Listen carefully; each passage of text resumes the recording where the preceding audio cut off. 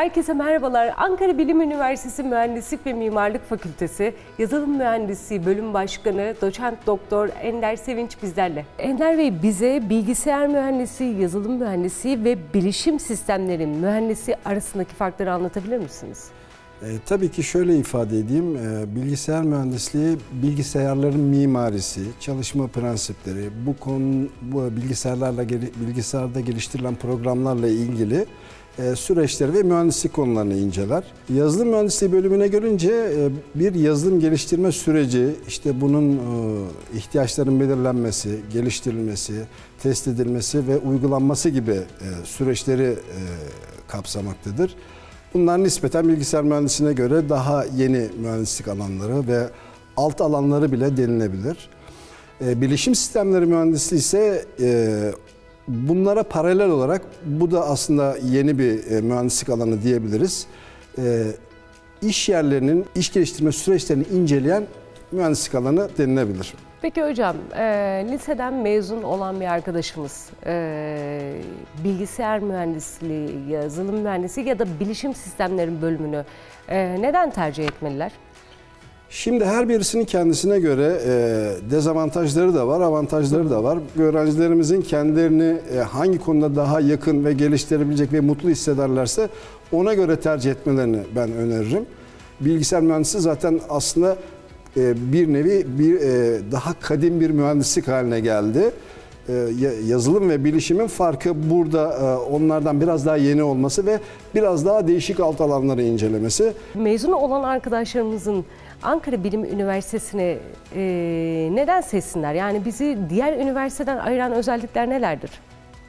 Şimdi ben bu konuyu e, üç ana başlıkta toplamak isterim. E, biz bir defa öğrenci odaklı ve yenilikçi bir eğitim veriyoruz. İkincisi e, YÖK'ün de yani Yüksek Öğretim Kurulu'nun da söylemiş olduğu gibi bizim bir dönemlik stajımız var. Bu yenilikçi bir yaklaşım.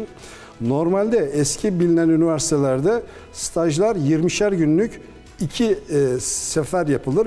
Bu biraz eski yaklaşım. E, biz kaldırdık demeyelim, gönüllü hale getirdik, hı hı. mecburi değil. Ancak 8. dönemde yani 4. sınıfın 2. döneminde komple bir dönemlik uzun e, bir e, müddet staj eğitimine harcadık. Hem e, buradaki öğrencimiz full donanımlı bir şekilde e, gitsin staj yapacağı yere hem onun oraya katkısı olsun hem de iş hayatına bu öğrencimiz e, hızlı ve kendini geliştirmiş bir şekilde yani donanımlı, nispeten çok daha donanımlı bir şekilde entegre etsin. Son olarak e, bir de bu e, yabancı sertifikasyonlar, ben şimdi ismini vermek istemiyorum henüz net olmadığı için, yabancı ülkelerde sertifikasyon öğrencimiz eğitim alırken aynı zamanda e, şey derslerle, seçmeli derslerle onu mesela Avrupa'nın bilinen e, iyi ülkelerin şeyleriyle, ülkeleriyle eş e, diploma vereceğiz. E, hocam lisans eğitiminde alınan derslerin e, dersler açısından ne tür benzerlik ve farklılıkları var? Bilgisayar mühendisliği e, İngilizce ve Türkçe olarak var. E, Türkçesi yeni açıldı bu sene. Yazılım mühendisliği var ve bilişim mühendisliği var. Bunların tabii ki ortak olduğu e, dersler var. Hı hı. E, ama ayrıştığı dersler de var. Bu üç bölümünde Türkçesi de dahil olmak üzere ortak dersleri de var ama ayrılmış olduğu değişik bu kendi konularına yönelik münasır dersleri de var. E, hocam bu bölüm Türkçe ve İngilizce olarak dersler veriliyor. E, peki e, ilk defa Türkçe eğitim alacak evet. e, öğrenci için e, bu konuda neler söylersiniz? E, Türkçe bilgisayar e, bölümünü biz bu sene açtık. Açıkçası şunu söylemek isterim, biraz talepler de o yönde oldu. Yani kendine göre e, avantajları şöyle olan bir bölüm. Şimdi biz malum ülkemizde herkes e, Türkçe e, her şeyi görüp anlıyor ve biliyor ve bu şekilde bir e, eğitim e, verirsek e, endüstriye daha iyi, daha kolay katkı yapabilir ve entegre olabilir diye düşündük. E, hocam e, bilgisayar mühendislerinin diğer mühendislerden e, farkı ne? Çalışma alanlarının farkları nedir? Ben burada e, makine mühendisleriyle, inşaat mühendisleriyle bir kıyaslama yapmak isterim veya ziraat mühendisleriyle. Bizimkiler biraz daha böyle ofislere, salonlara da biraz daha şey e, uygun, yatkın öyle söyleyelim. Hatta bu şey e, pandemi döneminde de aslında en az etkilenen bilgisayar yazılım mühendisleriniz. Çünkü ofiste yapabildiği iş imkanlarının büyük bir yüzdesini evde de aynı şekilde kendi başına yapabiliyor ve uzaktan bu işi halledebiliyor. Biz tabii ki uzaktan olsun demiyoruz ama biraz e, çok ofis odaklı bir çalışma e, durumu ve takım çalışması da önemlidir. O açılardan düşünüldüğünde bilgisayar mühendisliğinin ofis odaklı ve e, takım çalışması merkezli olduğunu söyleyebiliriz.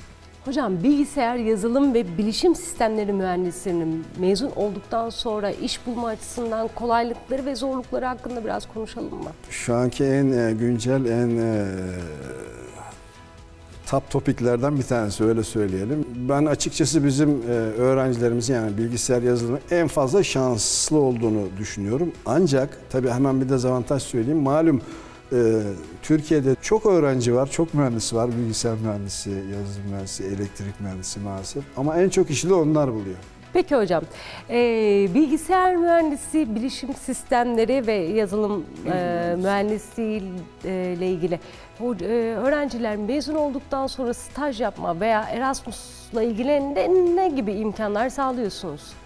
Erasmus e, bir dönemlik biliyorsunuz yurt dışında yapılmış olan e, anlaşmalı üniversitelere bir dönemlik siz onların derslerini kabul ediyorsunuz. ve Onlar sizin derslerinizi kabul ediyor. Böyle bir öğrenci değişim programı. Staj konusuna ben parmak basmak istiyorum. Bence bizim farklı olduğumuz konu ve yenilikçi olduğumuz konu o.